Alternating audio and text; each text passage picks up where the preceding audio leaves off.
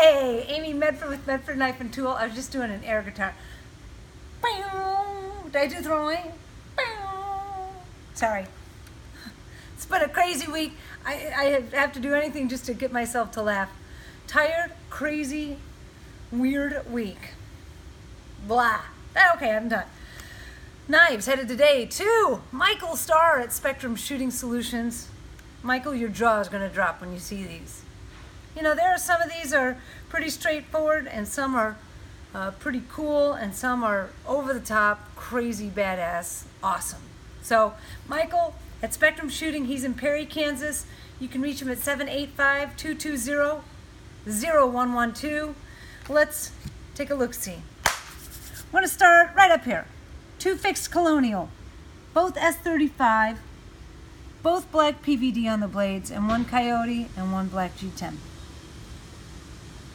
Who's busting in. Hi. Oh, hey. Did I just, oh. Yeah, you're on my video. Oh, sorry. Hey, everybody, I'll get out of your video. All right, so uh, back to the knives here. Slim. Slim MIDI. Seen these coming out lately. I don't need to talk about that I, too lo- much. I love the Slim MIDI. Oh yeah, that's your personal carry right now, right? It is. It's one of my faves. It's one of my faves ever. Even though it's little. Even though it's little, It's so weird to have something little that I like. right? But I love this guy. It's just the way I carry it. I've been carrying this now since we came out with the knife, and it hasn't left my side. And I've given a few them out to my close shooting buddies and friends in my life, and they're always like, they're like, dude, that's the fucking coolest knife I've ever. Oh, okay, cool. I'm Glad you like it. It's three slabs of material, and it's a pain he has to grind. We love it. Okay, I'm gonna go back out here. Go make a table, would you? I'm making a table. All right. So from the slim to middies, we have. Good, by the way. Thank you. We have several here. So this one is an S35.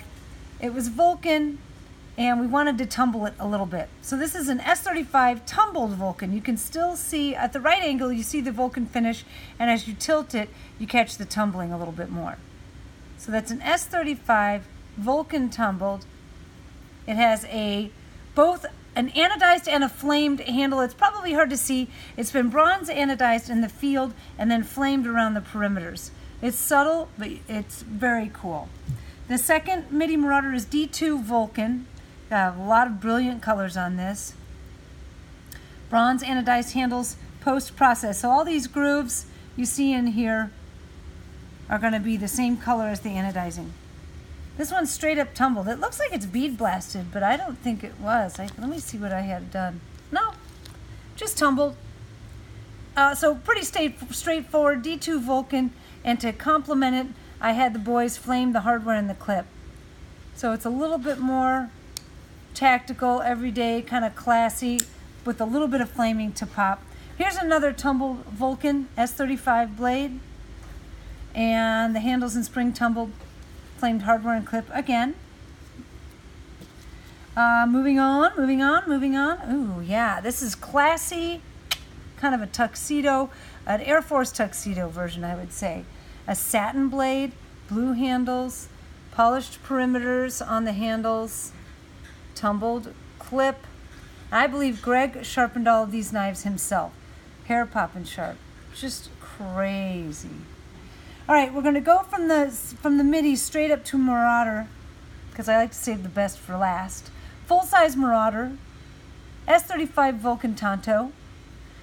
So let's see. This was bead blasted, and then the perimeters were polished, and then it was anodized. So you see the difference in texture of the blasted handles and then the polished perimeters. And then we flamed the clip to complement the blade.